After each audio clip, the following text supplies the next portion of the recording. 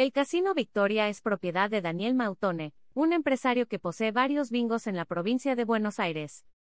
El escándalo que desataron las fotos que publicó Sofía Clerici con Insaurralde en un yate en Marbella puso la lupa sobre el entorno de Insaurralde.